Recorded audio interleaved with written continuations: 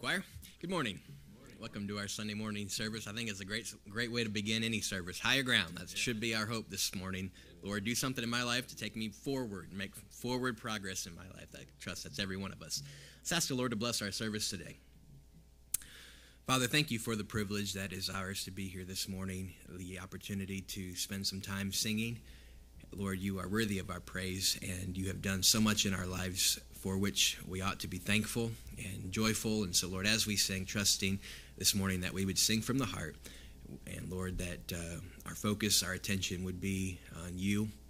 And then, Lord, as we have some time in your word, we pray that as your word is preached, you would challenge us, Lord. We want you to not just inform us, but change us today. Father, uh, encourage us through your word.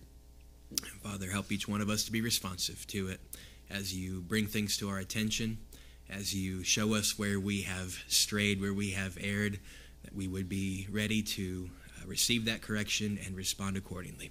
Thank you for, again, just the opportunity we have today. Please bless every part of the service, and we'll ask it in Jesus' name. Amen. Grab your hymnals this morning. Please stand with me if you're able. Turn to hymn number five, Oh Worship the King. Again, that's hymn number five, Oh Worship the King. Let's really sing it out and lift it up to our Savior on that first stanza. Oh, worship the King, all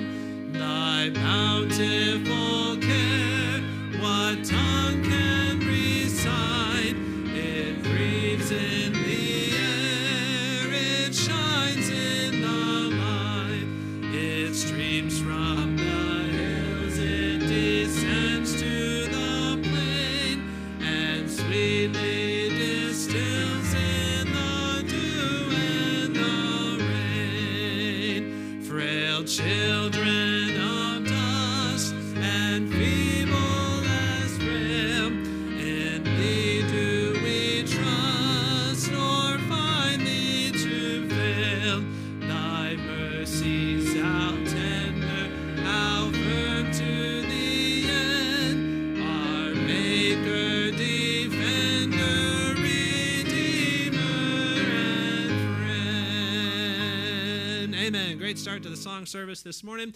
Turn please to hymn number 530. Again, that's hymn number 530, Joy Unspeakable. Again, hymn number 530, Joy Unspeakable. I have found his grace is all complete. Let's sing it out on that first stanza. I have found his grace is all complete.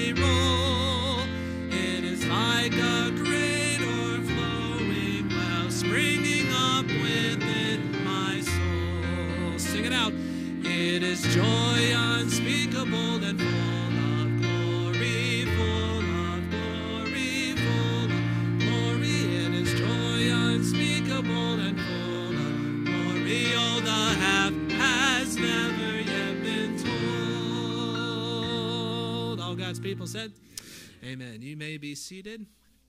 This time we'll have our ushers come as we prepare to receive our uh, Sunday morning offering. Just a reminder if you're a first time guest and you filled out that guest card, you're welcome to drop that in the offering plate as it goes by. But let's go ahead and pray, ask God's blessing upon our offering here this morning. Lord, uh, what a joy and a blessing uh, that we have to be able to gather here this morning, Lord. We're thankful uh, for this institution of the church, Lord, and that you have given. And we're thankful, Father, that uh, we can come and gather and get away from the world, Lord, and to hear your word preached and to sing praises unto you. So we just pray your blessing over the service this morning, Father, that uh, you'd use it in a great way in each of our lives, Lord. Help us. Uh, to be conformed to the image of your Son, Lord. And then, certainly, Father, if there's any here not saved, that you'd work in their heart and bring them to that place, Lord, of salvation here this morning, Lord.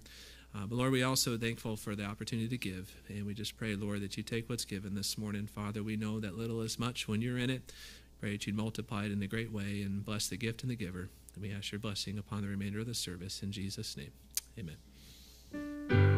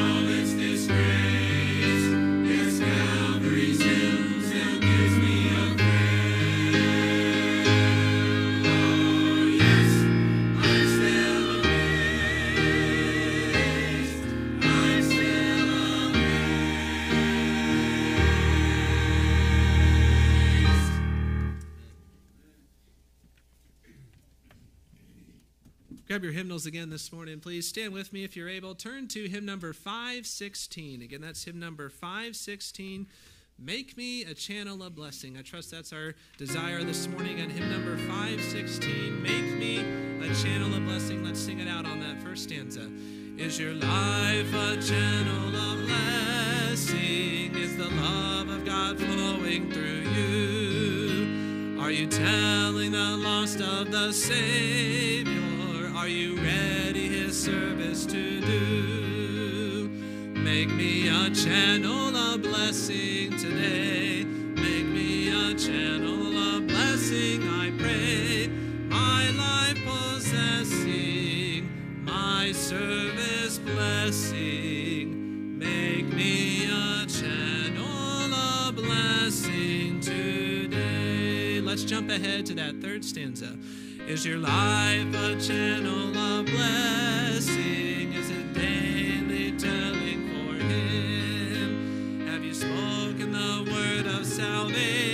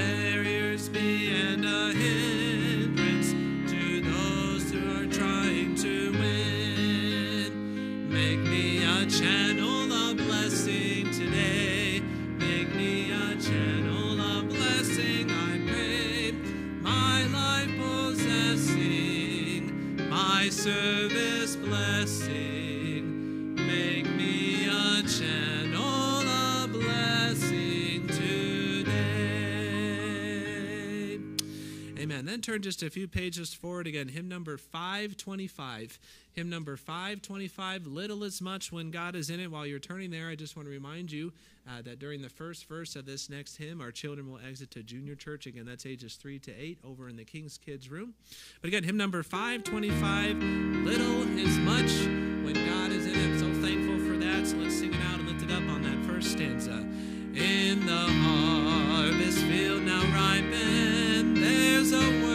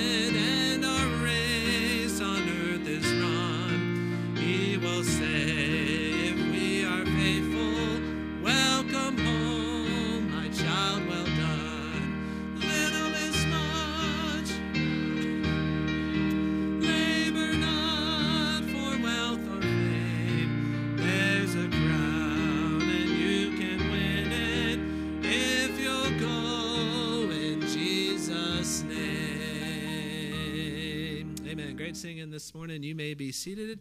At this time, Tabitha Headings is going to come and bless us with a special.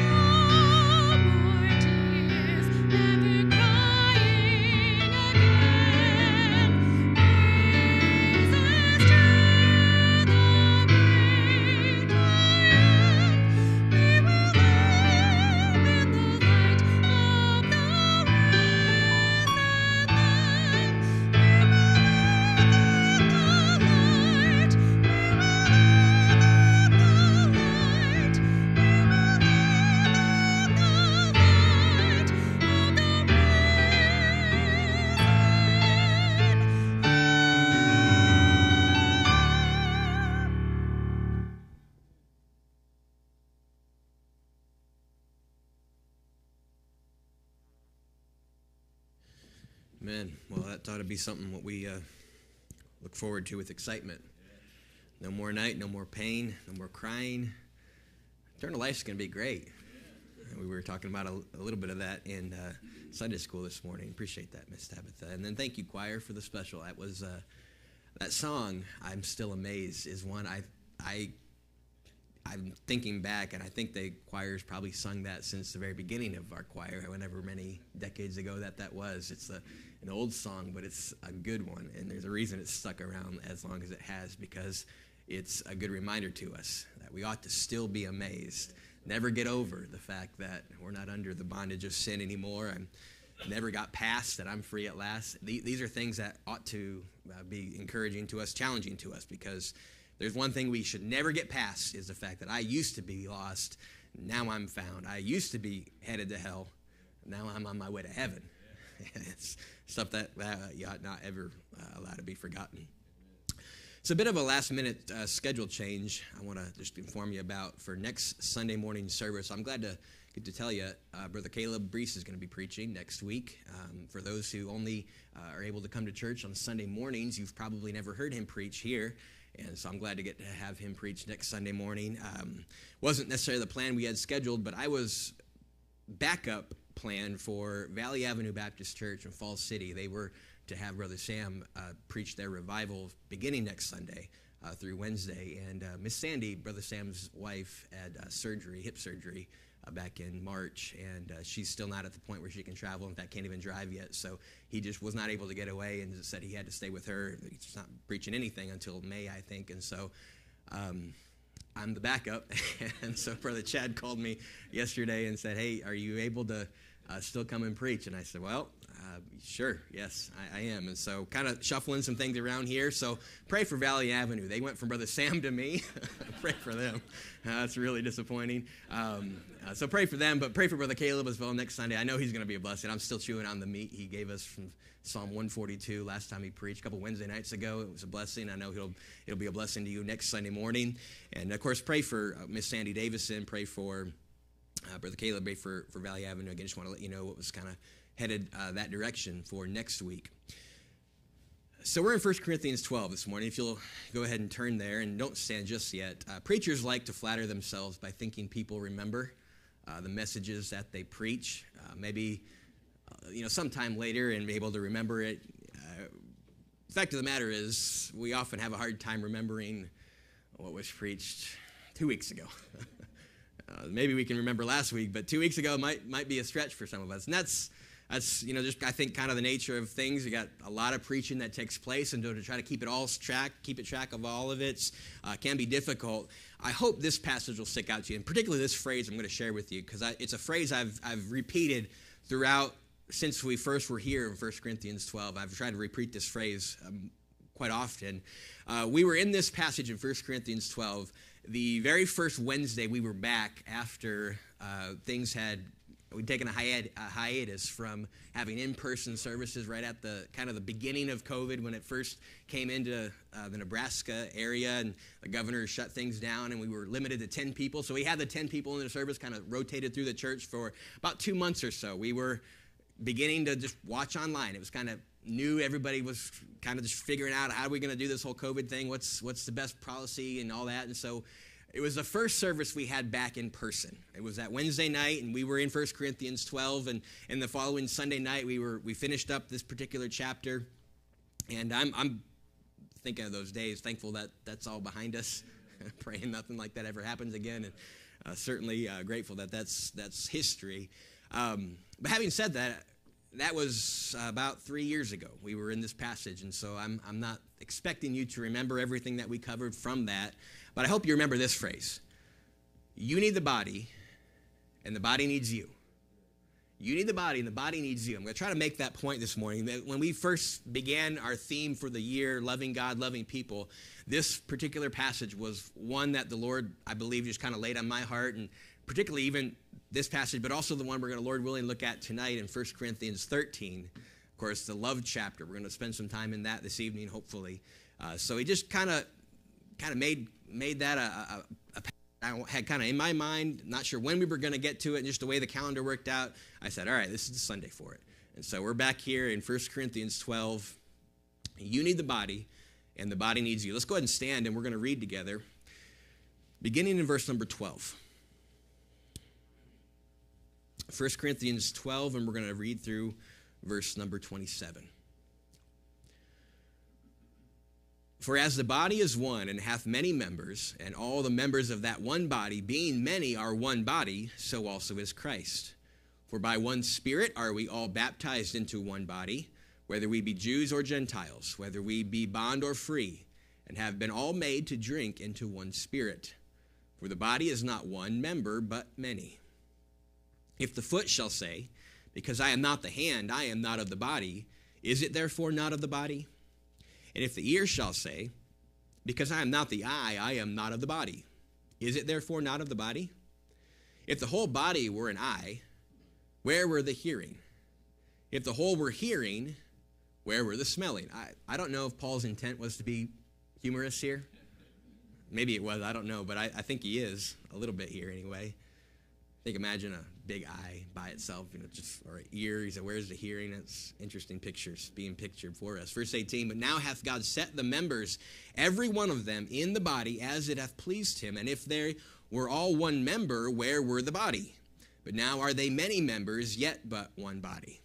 And the eye cannot say unto the hand, I have no need of thee, nor again the head to the feet, I have no need of you. Nay, much more, those members of the body which seem to be more feeble are necessary. And those members of the body which we think to be less honorable, upon these we bestow more abundant honor. And our uncomely parts have more abundant comeliness. For our comely parts have no need, but God hath tempered the body together, having given more abundant honor to that part which lacked, that there should be no schism in the body but that the members should have the same care one for another. And whether one, one member suffer, all the members suffer with it. Or one member be honored, all the members rejoice with it. Now ye are the body of Christ, and members in particular.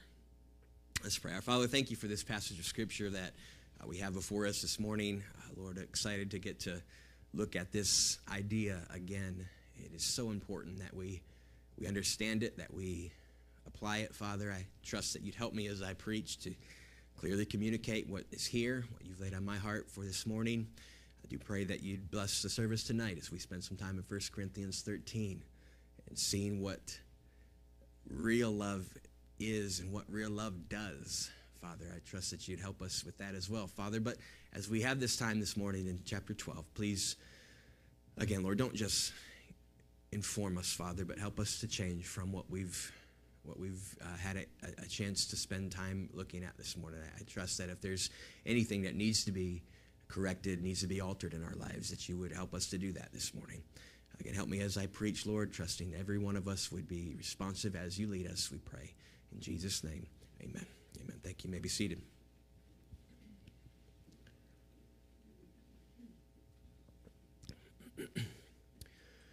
How many of you would have this morning got in your vehicle and attempted to drive to church if your brakes were missing from your car?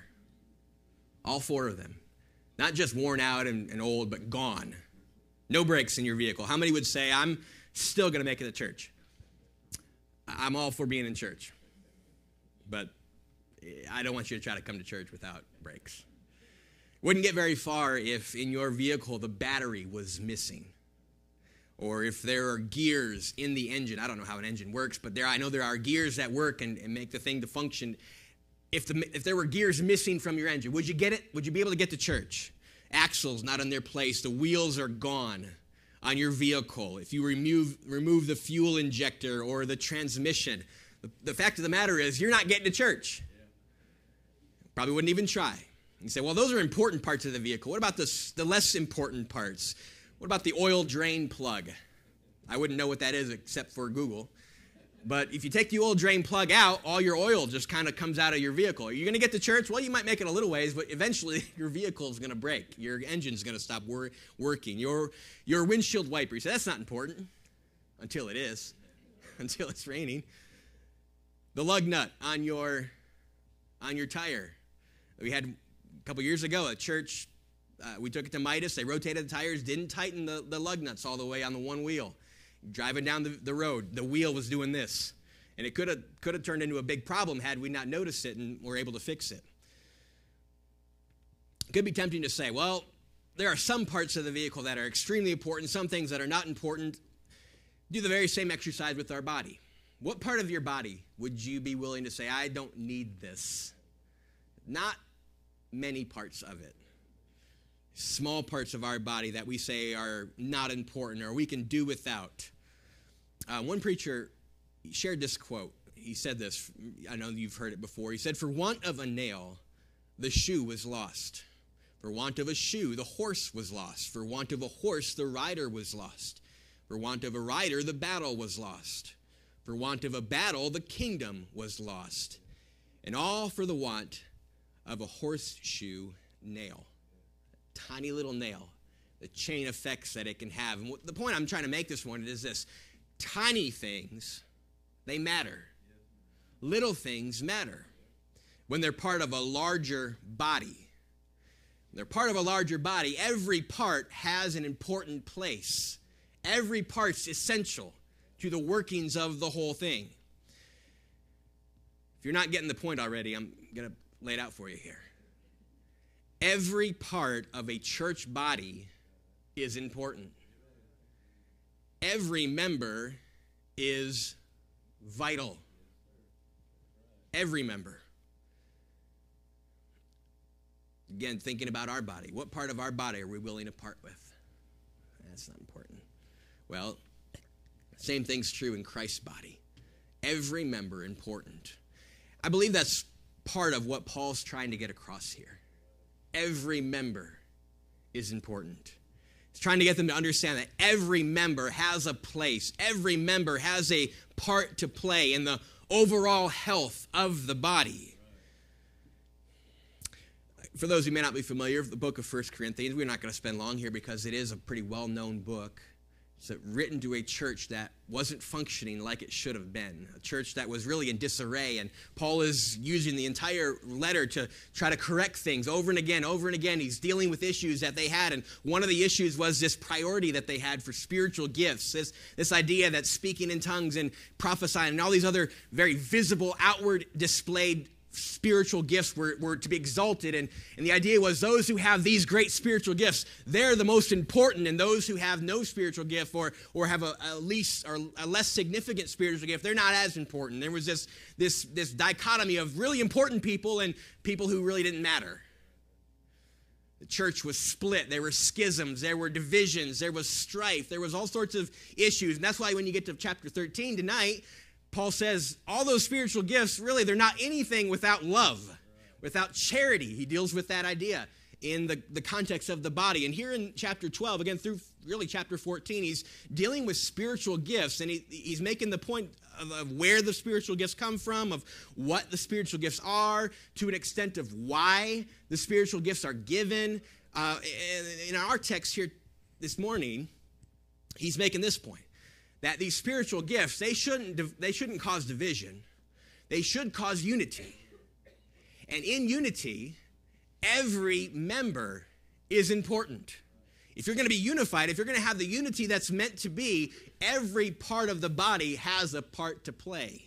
It's important every part. So it begins to to deal with this problem this issue that they had in this church by dealing with what we call the body the body. You say, what is this body of Christ? He talks about it there in verse 12, verse 14. Throughout the whole text, he's talking about this body of Christ made up of many members. What's the body? Well, if you don't want to be here till 2 o'clock, you're just going to have to, to trust some of the things I'm going to throw at you very quickly. This is a much bigger study, but, but we don't have the time for dealing with all of these this morning. Just essentially, it's this the body of Christ is the church.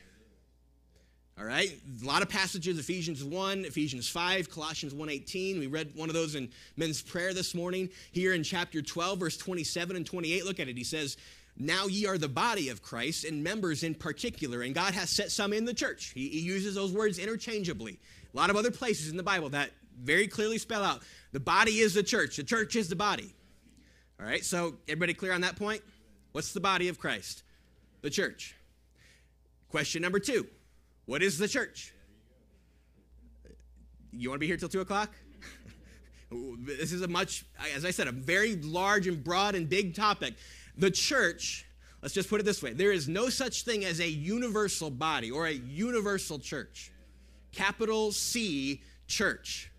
That is not a biblical concept. It's a, it's a man made concept. It is a concept that many people buy into, but just because many people believe something doesn't make it true.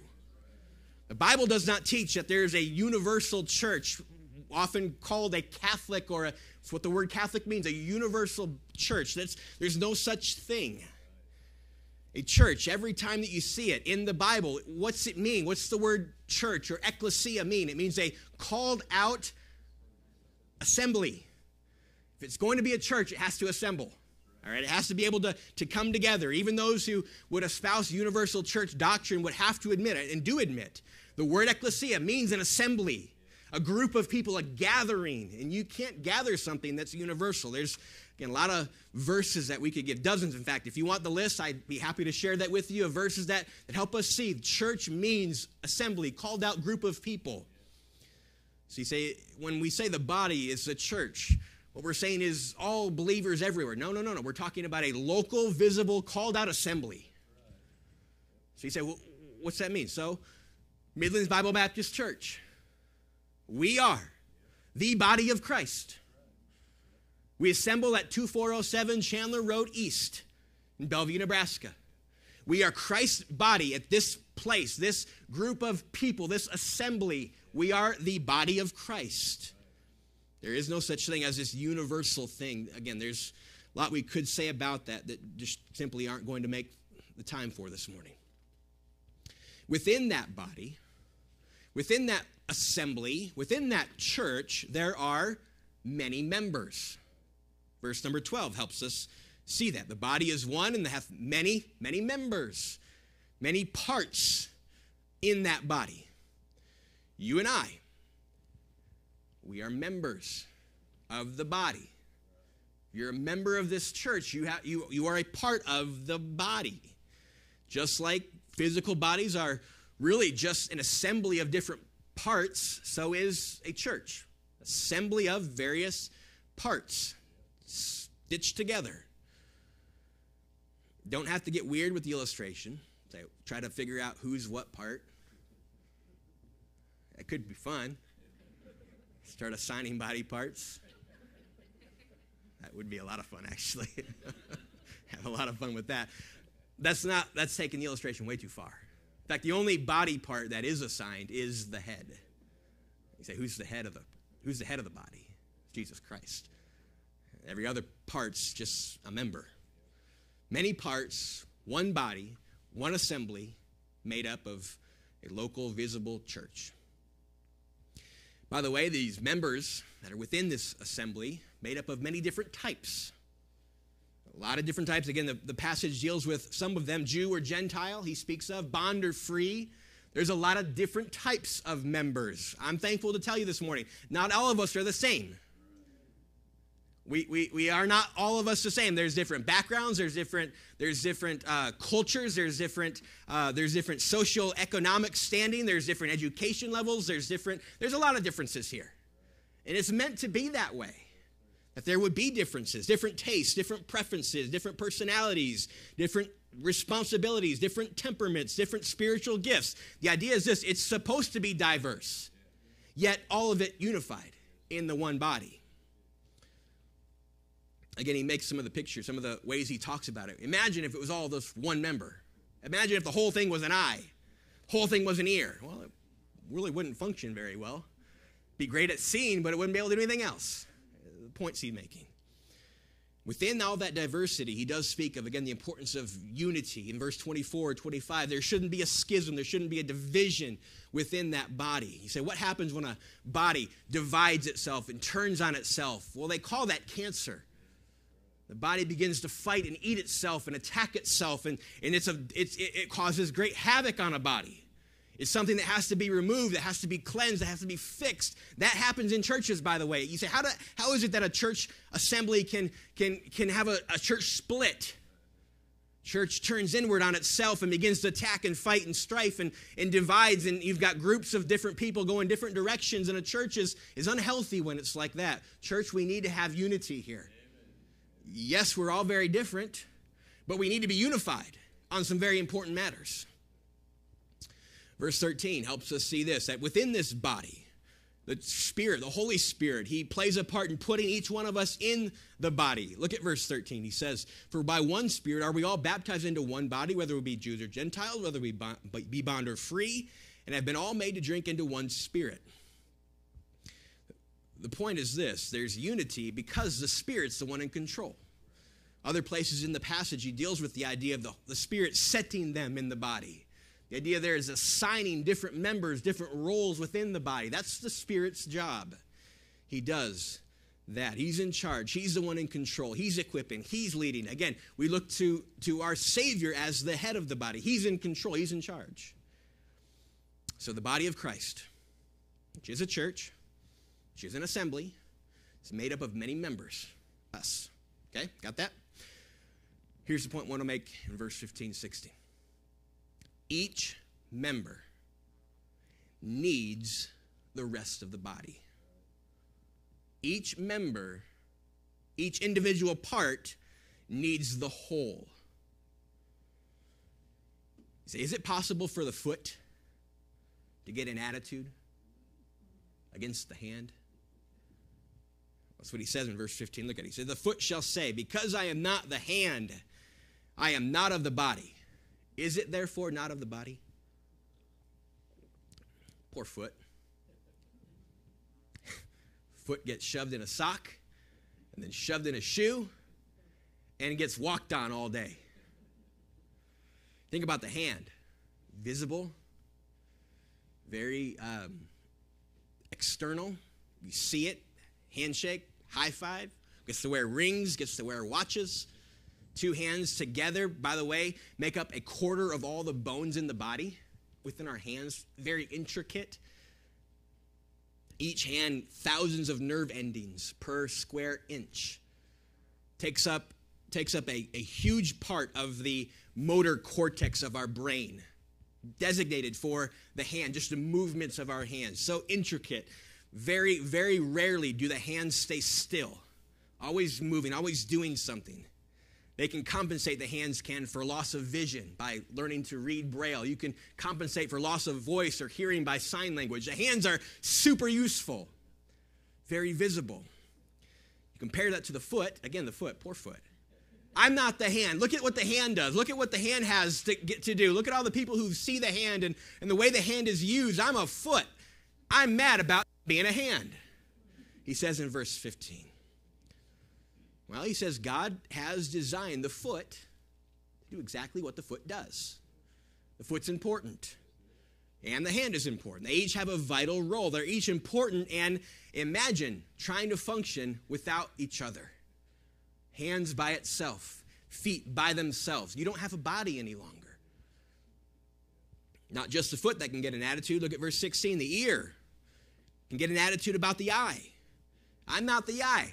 Shall it what's it say? I am not of the body. Is it therefore not of the body? You think about the eye 30% of the brain used to function and process what the eye sees, 3% designated for the use of the ear. Think about the eye, again, all that we see, and probably for many of us would say the most important of our senses, the ability to see, the eye of the soul, all the things that we talk about in the beauty, beauty of the eye. Nobody looks at somebody and says, You got beautiful ears. Be a weird poem to your wife. I love your ears. I mean, I, I, do love my wife's ears, but her eyes are normally what stand out, what we, we, we see and think of first. So these ears get this attitude say, I'm not of the body anymore. I'm not important like the eye. The idea here is this can our, can our physical body function if every part has this mindset? I'm not important. I don't matter. I'm not like that other body part, so I'm not going to be part of the body. What happens to the body when that happens? Well, it doesn't function. You're not supposed to lose body parts. Hands and feet and ears and eyes are all important. When you start losing body parts, it's an emergency. It's an emergency. It calls for drastic uh, intervention when body parts start to, to, to, to be ill and to, and, to, and to have to be amputated. That's a, that's a major thing. It doesn't happen easily and it doesn't happen lightly. The point he's making is this body parts don't survive on their own. When a hand gets removed from the body, a foot, an eye, an ear, you remove it from the body, it doesn't survive. It dies. Members of the body cannot opt out of the body and think, well, I'll be okay on my own. I'm not like that person. I'm like this person. I'm not like that part of the body. I'm, I'm different. I'm not as important, so I'm going to leave and think it's okay. Not going to happen. Not going to work. See, these verses help us see each member needs the body. Hands by themselves aren't really useful. Feet, ears, eyes, all by themselves aren't useful. Verse 21, he's essentially saying the same thing there. And the eye cannot say unto the hand, I have no need of thee, nor again the head of, to the feet, I have no need of you. Again, you can't look at other parts of the body and say, that part's not important, it doesn't need the body. No, it's not the case. You say, why is it that some members of the body might have a mindset like this? Why would the ear say, I don't need the body. I'm not important. I'm not, I'm not valued. Say, why is it that the foot might have this attitude? I'm not part of the body. Not appreciated, not used, not recognized, not as gifted as the hand or the eye. Listen, there's a lot of reasons. Think about some of these. A lot of reasons people can have. We're going to make an application of what uh, the picture is Paul's drawing for us. A lot of reasons people can have to say, you know what, I'm not of the body anymore. I'm the hand, I'm the foot, I'm the ear, I'm the eye. I'm not part of the body anymore. I'm not valued. I'm not recognized. That member has more recognition. That member has more responsibility. That member is valued more. That member has more appreciation than I do, so I'm not going to be part of the body. Does that happen? Mm. Fortunately, it does It does. Don't feel. Members cannot, can, can feel as if they're not important. Feel like they're just a feeble part of the body and it's not important. They don't belong. Say, what part of the body doesn't belong? Every part belongs. Thinking about this context of a body, listen, every member has a place. Let every member belong. Let's not, let's not be a body that's made up of cliques where it seems like everybody's got their own spot where they belong, and there's some people who don't have any place to be. Every member needs to have a place and needs to belong. Be careful that we have, have that attitude or that mindset. Say, why else does a member think it's not important? Why else would a member leave the body? Well, other members, they withdraw because they're hurt by another part of the body. Does that happen? I'm afraid that happens probably more often than any other reason body intentionally or unintentionally. Something happens between two different parts of the body, and, and the solution for one member is to say, Well, I'm leaving the body. You don't amputate your hand, your foot, try to heal it. Other members withdrawn from the body because they spiritually sick with false doctrine, sin, caught up in something that causes them to leave the body. Others never really become part of the body. Yes, maybe formally are recognized as part of the body, part of the church, but, but that member never really gets plugged in, never gets involved, never, never belongs, never fits, never does what's necessary to really be incorporated in the life of the church. That is, by the way, something common in, in our, our particular community. We're in a military community. If people come in for expected three or four years. And so there there's maybe some reluctance to say i'm gonna i'm not gonna attach myself or or get involved. I'm just gonna kind of be on the peripheral and and i'll just be here for the three years that i'm gonna be here and then we're gonna move on and never get connected to the body. That's not in any way the mindset of, a member ought to have.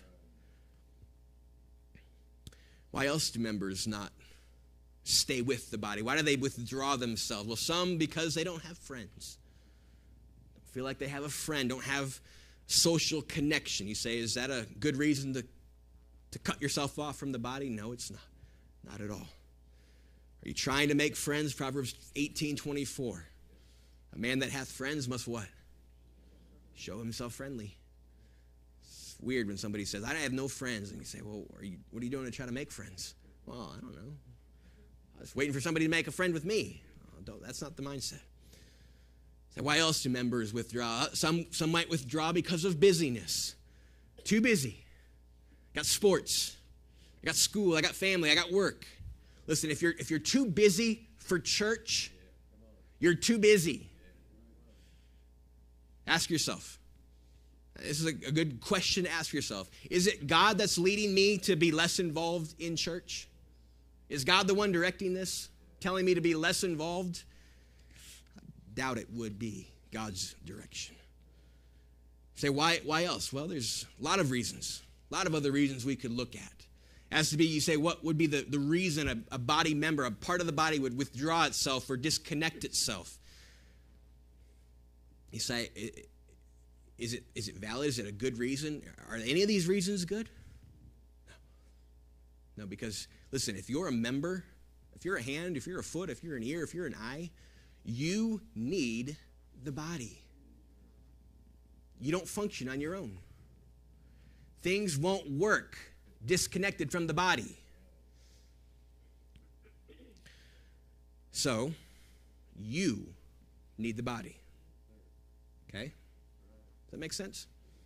Hands, feet, eyes, ears, they don't function except for being part of the whole. You need the body, but the body needs you. You are a member of the body, you are not expendable. The body needs you. Again, he, he speaks in verse 17 of the different parts of the body, the different members, again, the diversity within the body.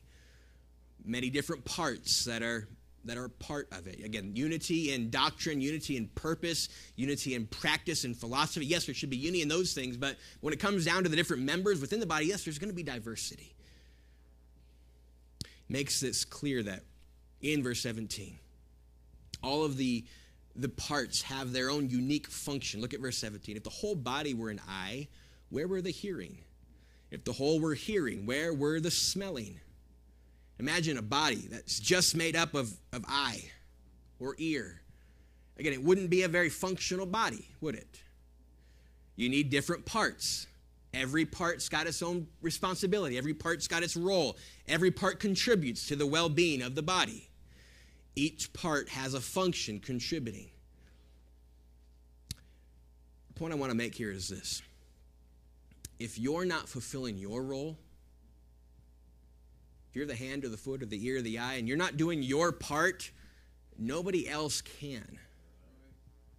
You've got a part, you've got a place.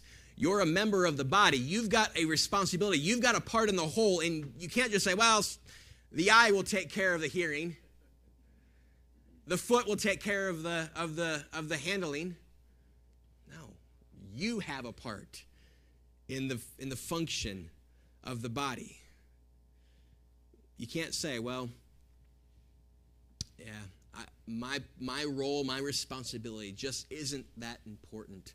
I'm not comely. I'm not honorable. I'm not out there like the hand or or I'm not visible like the eye. Can't say that. Every part has an important place. Look at verse 18. The Bible says, Now hath God set the members, every one of them in the body, as it hath pleased him. You say, what's that word set there? It means this it means to place purposefully. God hath purposefully placed each member in the body. What's that mean? It means God's got you right where He wants you. He's got a purpose for where you are, for what you're doing. God has a will and He's put you in here for a reason. Because God's the head, because He's the one setting members in order, you say, what, should, what, what does that mean? Well, means this the responsibilities that God has given you, see it in this light. That's God giving you responsibility. Him setting you in that place. Understand, we have ministries, we have different ways in which people volunteer, people get involved. I'm trusting that as that happens, there's a there is a sense of of direction from God. That we're not just willy nilly throwing people around and that you go do that, you go do this, you do this. No, there should be a sense of, of letting God place people in the, in the body where He wants them. And when God does that, recognize this is from God. The roles that He's given you. Let God determine where you are. When God does, be content where you are. Be content where you are. Say, I, I don't like the role I've got. I feel like that role should be mine or that role. No, listen, if God put you there, God set you there, you serve right where you're supposed to be. Verse 19, essentially saying the very same thing. Verse 17, saying again, if, if every part of the body was the same thing, it wouldn't work. Every part's got its place, and every part is necessary. Look at verse 21 the eye, and the eye cannot say unto the hand, I have no need of thee, nor again the head to the feet, I have no need of you. Now, you're not allowed to say, You're not essential. You're not important. You don't matter. No member of the body is allowed to say that. Look at verse 21. Again, making this clear. It's interesting. Again, the illustration Paul uses, the, the the uh, analogy is members of the body talking. You say, do hands talk? Eyes and ears talk? No, they don't talk. But in Paul's illustration, they do. Again, this eye saying to the hand, Get out of here. You're not important. You're not necessary. The head to the feet, I've got no need of you. Look at verse 22. Much more those members of the body which seem to be more feeble.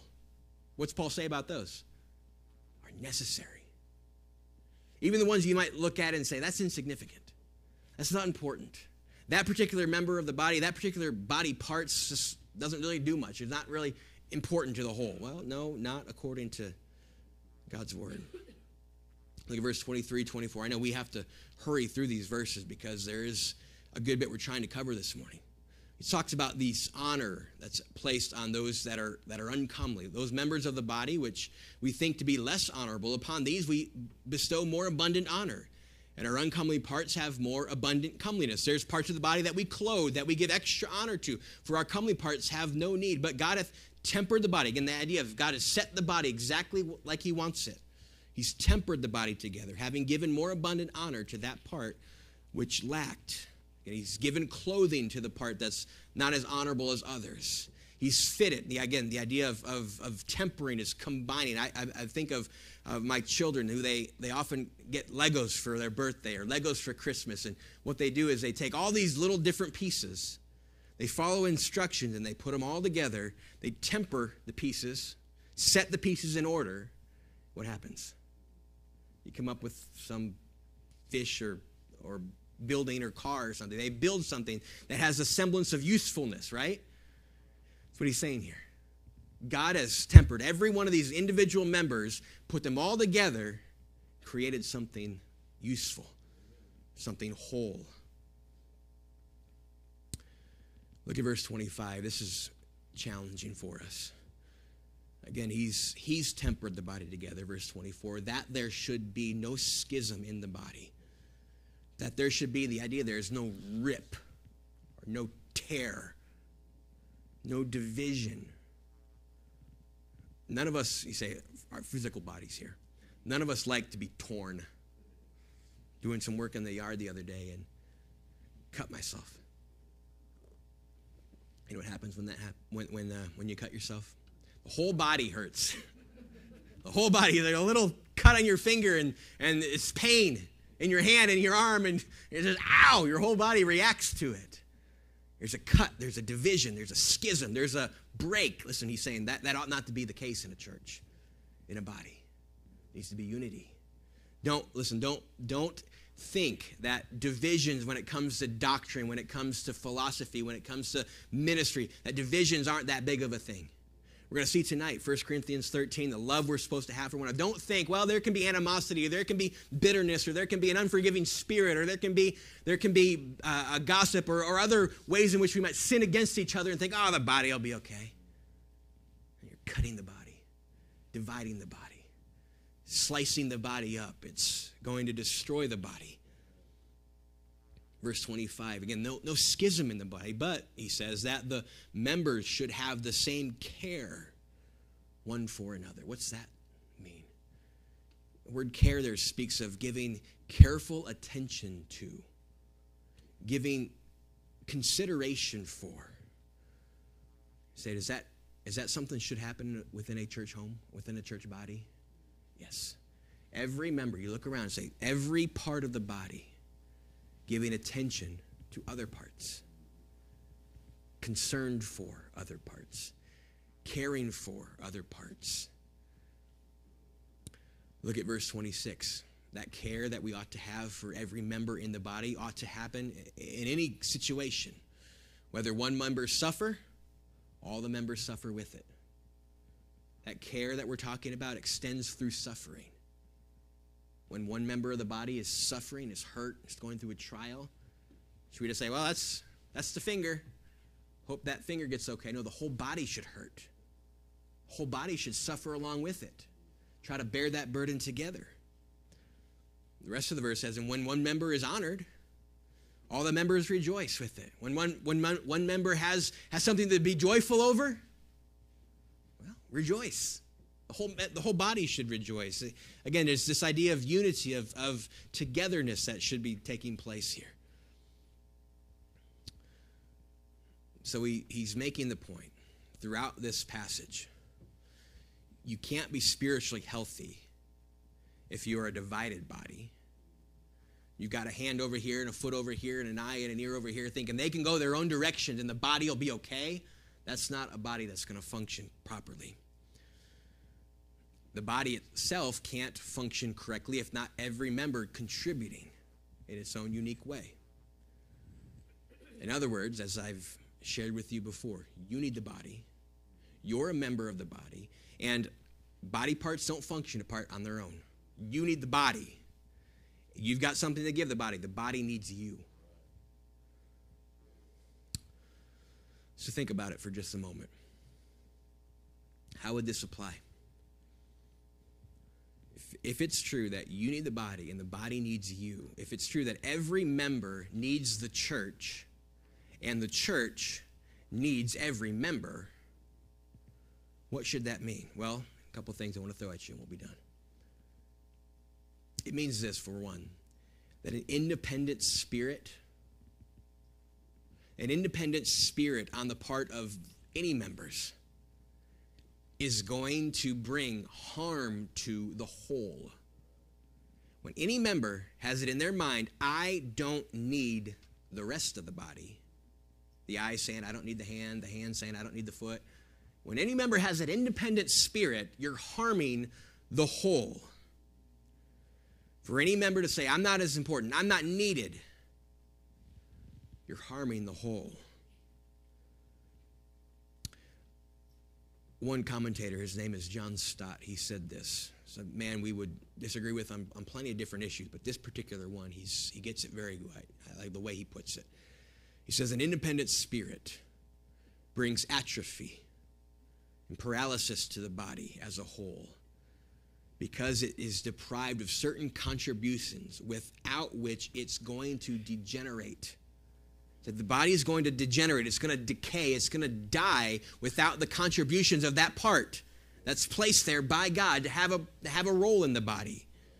An independent spirit is going to bring atrophy. It's going to bring paralysis. It's going to shut the body down. When the body begins to think, I, all these different members thinking, I don't need the rest of it. I don't need the rest of it. I'm not important. I don't need it. I'm not important. I'm not going to be part of the body. I'm not going to fulfill my role. You are not expendable. You are not dispensable. Don't think that, well, if I'm not involved, or if I'm not committed, or if I'm not present, or if I'm not serving, or if I'm not involved in ministry, the body will be okay. What would happen if every member of the body said that? Consider next time that you're saying, yeah, is it important that I serve? Is it important that I be involved? Is it important that I be in church? Remember this it's not just for you, others need you to be present, to be here. You have a part in the health, the spiritual health of others. You do. It's not good for any member, any part to be separated from the body. If it's true that you need the body, then here's a couple things we need to think about. You need to be part of a body. If Paul's point is true, he's saying every member needs the body, every member needs to be a part of the body. You need to be a part of a body. Again, we're losing translation here. You need to be part of a church. If you're not a member of this church, be happy to talk to you about that. And you say, I, I, can't or I won't join Midlands Bible Baptist Church, well, then you need to join somewhere else. You need to be part of a body. There, there's in the New Testament no, no picture, no envisioning of, of Christianity separated from, from life in a church. It's, it's always in the context of a New Testament local called out assembly. Everything you read about, it's, it's all done in that context. You say, I'm not going to be part of a body. I don't want to be attached to any one body. Well, you're going to have a hard time defending that scripturally. You need to be part of a body. It's God's design for every member to be joined, to be attached. You say, I just there's a reason why that can't be, or there's a reason that hasn't be. Well, let's let's talk about that. Be happy to talk with you about membership. If it's true that you need the body, then you need to be part of a body. If it's true that you need the body, then when the body gathers, join it gather with it. Make, make that threshold very high. That threshold of, of when to skip church or when to miss church. Again, I understand there are things in life that cause us to not be able to be in church. I won't be here next Sunday. All right? There, there's, there's, there's legitimate reasons in life to say, I can't make it. You're sick. We love you. Watch online. You're going to make everybody else sick. We don't want that right? But but make sure, is it legitimate? We're very again our, our flesh tends to pull us this way and say, well, it's it's uh eh, it's easier to watch online. It's easier to watch online. That should that, that can't be our mindset. Listen, make the the gathering of the body a priority. Don't let, and this is again the tendency, don't let something pull you from assembling.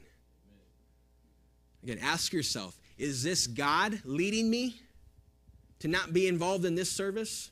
Is it God that's saying don't be in, in church today? Or is it me saying or coming up with reasons or, or excuses? Make sure God's actually leading. I, I appreciate Carl Boonstra. He was a couple years ago with us for our missions conference, and he's the fellow we're praying for. pancreatic cancer, 96, right up in that. We're talking. He had a streak in his life, 63 years without missing church. Isn't that insane? I don't know if that was every Sunday morning, evening, and Wednesday, or if it was just every Sunday he was in church. I, I can't imagine it was every Sunday, Sunday, Wednesday. But 63 years of, of being in church every single week. And I'm not saying that it's, it's never going to happen where you're able to just say, I, I can't be there. But make sure that threshold's high and keep it high. What is able to keep you from being in church? Don't be one of the members that says, I'm not important. I'm not the hand, I'm not the eye, and so I'm not necessary. I'm not significant. I'm not needed. No, you need the body. And we need you. The body needs you. Prioritize the gathering, prioritize the assembly. Don't isolate yourself. Don't think, well, if I if I fall away from the body, I'll be okay. What happens when you sever a member from the body and leave it for a time? Well, it starts to grow rotten. Flesh decays. There's no life there. Before long, it's, it's useless. Don't think I can I can disconnect myself from God's institution, from God's body here and say I'll be all right. I'll still thrive spiritually. No, that's not going to happen. It's not going to happen. You need the body. If it's true that you need the body and if it's true that the body needs you, understand this. Because the body needs you, you have a role, a part to play in the health of Midlands Bible Baptist Church. You directly contribute to this church moving forward, this church falling away. You have a part to play. Every single one of us does. So don't think, well, I'm, again, not part of those important parts. Now, Paul's trying to dispel that idea that, that there are important parts and non important parts. No, listen, every part's important. If you're not fulfilling your role, the body is suffering for it. The body needs you. You've heard the song before What kind of church would my church be if every member was just like me? The chorus of that song I wonder what kind of church would my church be if every member was just like me. How many souls would be saved today if it all depended on what I say? I wonder how many prayers would my Lord have to answer if all that he heard came from me? I wonder what kind of church would my church be if every member was just like me. Think about that for a second. If every member witnessed like you witness, would this church be properly called a lighthouse? A place where the gospel is being spread abroad, gospel is being sent out. Every member witnessed exactly like you do. What if every member, every member attended just like you? Would, would there be anybody in Sunday school? Would there be anybody in the services? If every member served in ministry just like you do, what would happen? If every listen, if every member's giving was just like yours, would the financial condition of the church be solid, be firm. If every member's marriage was like yours, every member's love for their child was like yours, every, every member's Bible study time was like yours, every member's prayer life was like yours, what kind of spiritual health would Midlands Bible Baptist Church have every member was just like you? It's good for us to think about. Good for us to think about. Every member has a vital role. You have a vital role. You do. You need the body, and the body needs you. If God's placed you in this body, if He set you here, if He has tempered the body and you're part of it, and you've, you've been placed, you're one of the Lego pieces in the whole, then listen, you need to see that role as important. Don't neglect that role. Don't think I can, I, I can, I can be negligent, I can miss, I can I can, I can do what I need to do on my own and be okay. No, the whole body's suffering when every member is not plugged in. Every member has a part. Listen, from the oldest member here to the youngest member here. Every adult, every teenager, from those who've been here for, for generations, for decades, you've been a part of Midlands Bible Baptist Church. For those who've been here for weeks, months, you've hardly been here very long at all from spiritually mature believers to those who say, I've just gotten saved within the last six months. Regardless of where you are on that spectrum, you have a, pole, a role, you have a part in the health of this body. You're important. And our tendency to, th- our tendency is to think, well, they'll be okay if I'm not there. They'll be okay if I'm not involved. They'll be okay if I'm not part. They'll be okay if I don't minister. Listen, Satan would love for every single one of the body members to think that way. If we all thought that way, Midlands Bible Baptist Church would be nothing, be destroyed. Say, I'm just one member. It doesn't matter. I'm just one member. Well, for want of a nail, kingdom was lost. You are important. So please, when we think about this idea of you need the body, the body needs you each member needs other members. Each member needs what the body as a whole offers. And each member has something to contribute to the whole. What we're saying this morning is this you're important. You are important. Individually, you are important. You know what else is important? The church is important. The body is important. Both are equally important. Both have a, a vital role in your spiritual health. So please don't neglect your role and don't neglect the body and its role. As we bow our heads this morning, I'm, I'm going to encourage you. I know this is a, a, a passage of Scripture that deals with, with life in the church, and it's going to come up again tonight from 1 Corinthians 13, our behavior within church. It's time for us to think, though, not the eye thinking for the ear, the hand thinking for the foot. No, it's time for each of us as members individually to ask our Lord and say, Am I, as an individual member of this body, the one that you've placed here, the one that you've tempered to be this part, am I fulfilling my God given role? Am I where you want me to be? Am I fulfilling what you've called me to fulfill? Father, this morning as we've looked into 1 Corinthians 12, this analogy, this illustration of, of parts of a church, Father, I pray it for every one of us is clear that we all of us have a role, we all of us have a responsibility. Every one of us is important in our own individual way.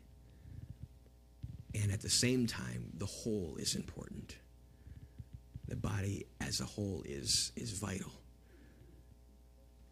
Help each of us to, for a few moments here during the invitation, consider and pray. Ask you, how is it that you're, how is it that you're leading?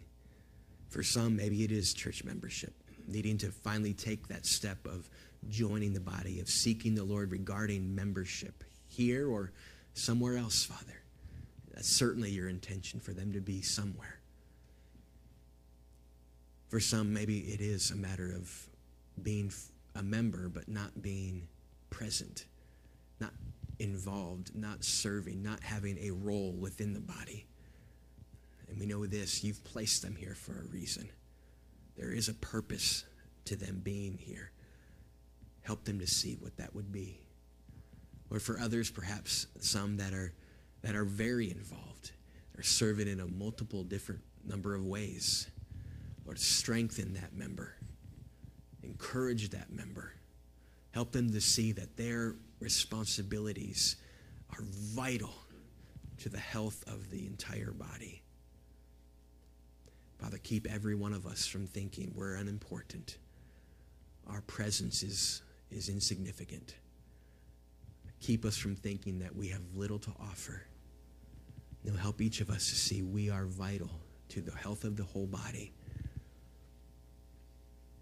Lord, work on us, whatever the direction would be, whatever specific aspect of the message you would take and apply to our hearts, Lord, you know where each of us are.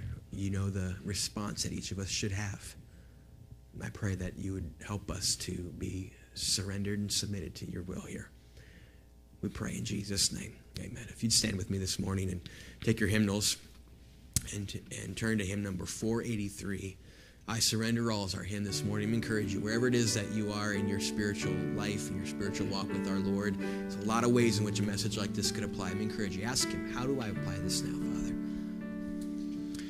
All to Jesus I surrender,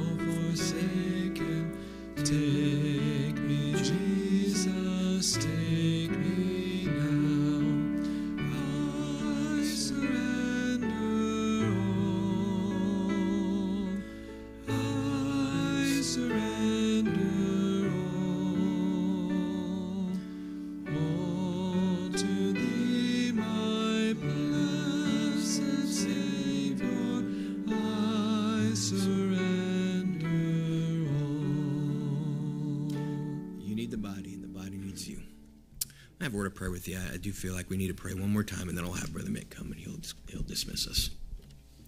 Father, once again, want to thank you for this particular passage of Scripture.